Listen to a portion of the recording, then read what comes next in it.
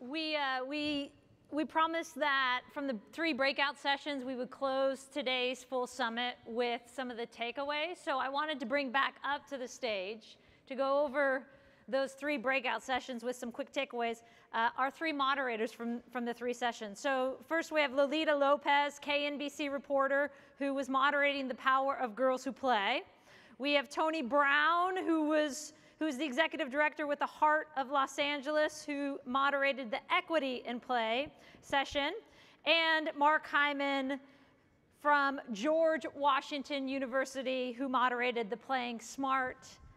Hello. You, session, and of course, Renata Simril. So we're gonna. yes, give me another woo. I like that. I like woo woos.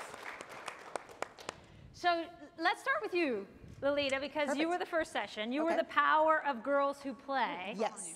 Yes. Okay, so we had a really great session, and a part of our talk, a big part, was not just girls who play, but girls who stay. Because after the adolescent age, lots of women and young girls just drop out of sports. So we had five really, really great takeaways for you guys to take home as well. Um, number one, it's important for girls to see female athletes who look like them. So if you've ever played a sport, if you're a former college player, go back to your communities, go to those YMCAs, go to the programs that LA84 have, and show them that you did it, that they can do it too. Number two, the need to educate parents about the positive impact of sports on girls. We were talking specifically about Latino cultures who the parents just don't understand that it's okay for the girl to play and what benefits they get from that. So maybe bring the mom out and have them come to practice one day, be a part of the practice so that they can see that. Make sure the parents understand the power of play. Number three, it's important what your body can do and not what it looks like. We're all different body types. We don't look the same. What you do with that body is what it's important. So make sure that you tell girls and praise girls in the right way. They're not just pretty, they're powerful, right? They're not just sweet, they're smart. So make sure those things come into play. Number four, same sex role models matter to girls. There's a significant number of uh, women who just are not coaching at the collegiate levels, at the high school levels. So support your female coaches. Or maybe there's a young player who may not make it to the higher levels of play, but she's a really great teammate. She could be a really good coach. So support those girls in that way. And number five, stop blaming women for the lack of women coaches. Interrogate the system at the organizational level. It is incumbent upon us as women to ask questions, to come together, to empower ourselves. If you can't do it alone, do it with other people, but make sure you fight the system. That's what we learned. Awesome. Great. Great. That's great. I like the fact that she had five too. There's five Olympic rings. She had five points. Good job, Louise. Yeah, very good, Lolita. Tony? All right, so we were equity in play, safety, space, and money. This is what we want you to know. We're not valuing the equity problem enough. Uh, we need to communicate that sports are not just about playing sports, but the ancillary benefits to playing sports are just as important as the playing itself. And then also, we as organizations need to uh, probably develop better ways of sharing that message, right? The ancillary benefits of sport. And I think the biggest takeaway is that we need to come together around this and around our common challenges of equity and safety, ac- access to sport fields, which we heard quite a bit, uh, and also uh, money. We need to do this with one unified voice, okay? And we all need to be on the same page with that because we have some things in common that we all need more of uh, if we're trying to make this world a little more equitable, uh, particularly in sport. So we need to come together around those things. Great. Well done. So our session was playing smart solutions to the youth sports dropout problem, and we interpreted dropout to also include problems of access to sport. So our first point was engagement of coaches is critical, and in this regard, uh, the important points were about coaches who are inspiring and role models and inspire kids to want to come back the next day.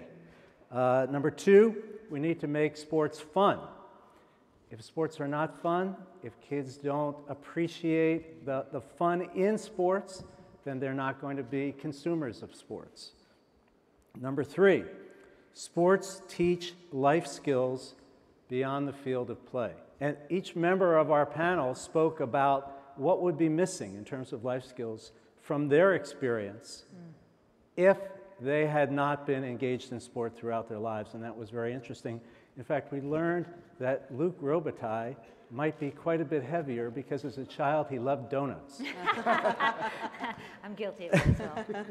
And then um, final, the final point I'd like to make is that it's critical to bring play spaces to where kids live.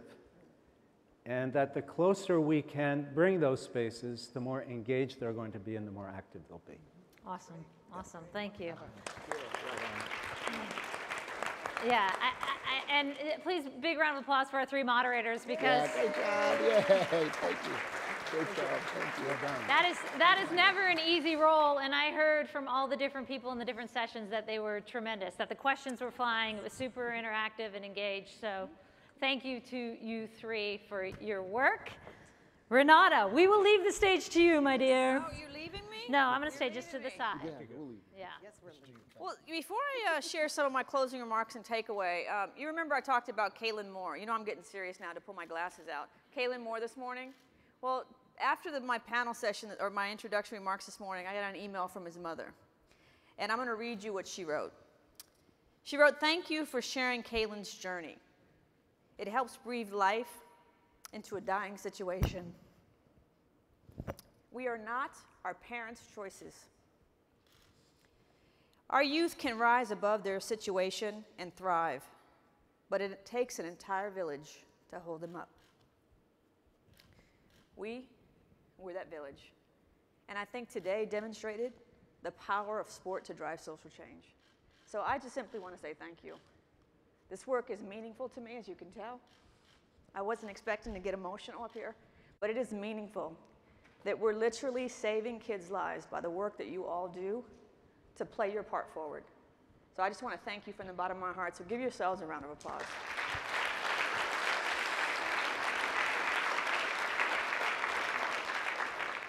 So today, I think, um, exceeded our expectations. Um, the conversations through the breakout sessions, during lunch, um, you know, during the play periods, during the interviews, everybody's engaged. They're having conversations. They're making connections. In fact, one of our grantees uh, came out of the equity panel, and he said, you know, I've been meeting to meet Ed Simmons for years. I see his list on there, and I never had an opportunity to, to meet him. I thought I knew about youth sports. I thought I knew what I was doing, and I've learned so much in an hour. Um, in fact, I found, you know, I know there's a, a soccer field in Cudahy that's been closed down, and kids play soccer at two times the national average. He says, so I've now connected with Ed Simmons, and we're, Simmons, and we're going to figure out how to open that soccer field. That's what today is about. Today is about what are we each doing to make connections, to collaborate, and to play our work forward. So, you know, the only thing that I can say to leave you there is um, some highlights. So, you know, voices from the field. How many uh, enjoyed listening to our youth today? Are they not incredible young people? I mean, just incredible. I think I need to check Ezra's birth certificate because there's no way in heck he is 11 years old. Just no way. Um, and they're just representative of 25 young people that I hope to go to 50 to 100 young people to help drive our work. And you know, the question that Gary asked about if the kids were given a million dollars, how would they invest it? That's not a uh, hypothetical question. So part of the work that the youth ambassadors are going to be doing for us um, is helping us find uh, opportunities within the communities that they serve to make an impact. So they're going to be able to actually recommend grants to us. And I just wanted to highlight for you some of the uh, opportunities where these kids saw to make that investment. So Ezra says he wants to make investment, more investment for disabled sport. Jahir said he wanted a food plan, so healthy snacks before and after practices and games. Sarah Joy to build facilities, and she highlighted two swim uh, pools that need some upgrade. Kylie, she says she wants support for non-traditional sports, dance, um, cheer. And Emily, Play It Forward Foundation wants to continue expanding opportunities for equipment and underserved communities so kids can play. Um, the partnership. Um, I think the key point that I took away from the partnership panel this morning or this afternoon was alignment of values and shared goals and ambitions. Is that we need to understand our roles as partners, the roles we play, the values that we bring, and what and how we can contribute. Just like a sports team. We all have a role to play, so let's figure that out. Let's focus that collective impact uh, in an area uh, and get to the business of getting some work done. So, how is LA 84 going to be playing it forward over the next year between now and the next summit. And we sold out a week and a half early, which shocked the heck out of me, to be quite honest. Um, so you might want to sign up when we put out the, uh, the notice for the summit. Sign up early so that you make sure you get your ticket. Um, number one, um, we're going to, this is the beginning. This is the beginning of our work, it's not the ending. And the, the panels that we highlighted only scratch the surface. And so between now and next uh, October or August or whenever Amy tells us is the date for the next summit, stay tuned. Um, we're going to have a series of smaller convenings at our headquarters. And some of those areas that we're going to focus on and bring uh, some of the folks in this room and other people who aren't in this room to focus on girls, girls leadership, girls coaching. We're going to focus on safety in sport, accessibility to sport, accessibility to sport for the disabled, and opportunities to expand fields of play, uh, specifically soccer as a first example given the statistic that I shared with you this morning. Um, we're also going to focus on skateboarding. You know, I, I think I was, uh, did, I get around? That must be the skateboarding table. No, behind you, I think it's, I see Neftalie. Who else is behind there? Cindy? Cindy? See, I got all the skaters back there, but skateboarding. And skateboarding, um, just generally because it's such a popular sport, but one of the most at-risk uh, youth populations in LA County, and quite frankly in the nation, is 15 to 17-year-old African-American males.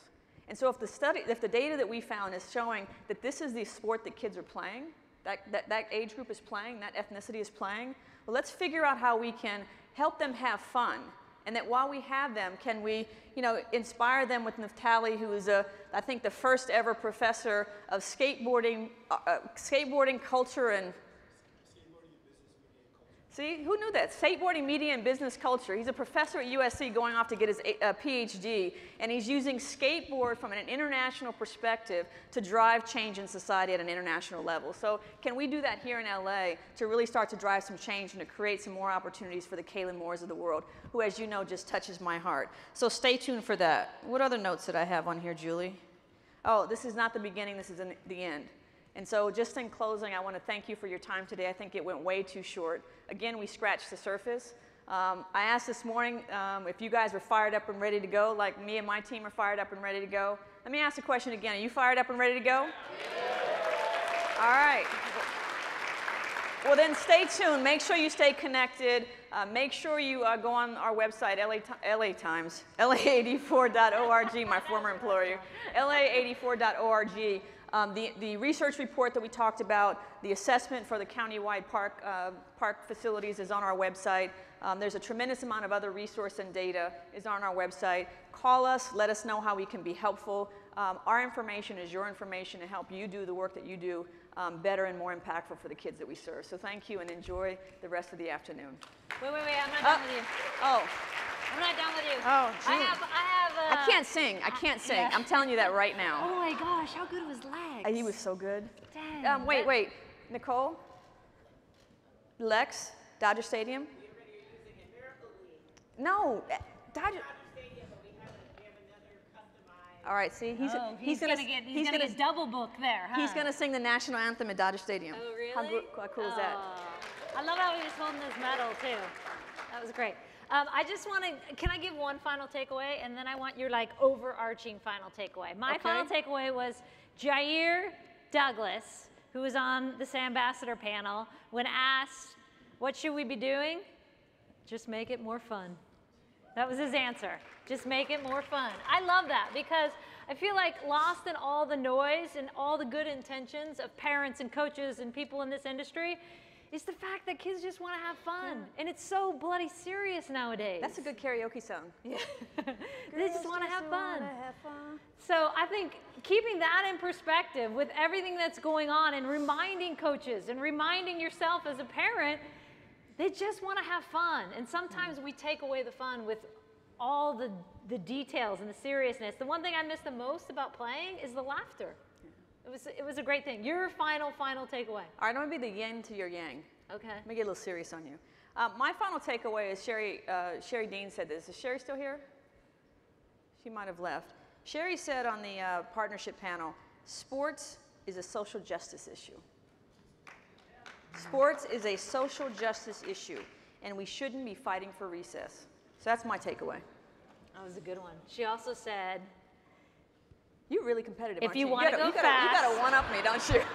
If you want to go fast, go alone. If you wanna wanna go, go- far, go go, together. together. All That's right. the best way to finish it. Thank you all.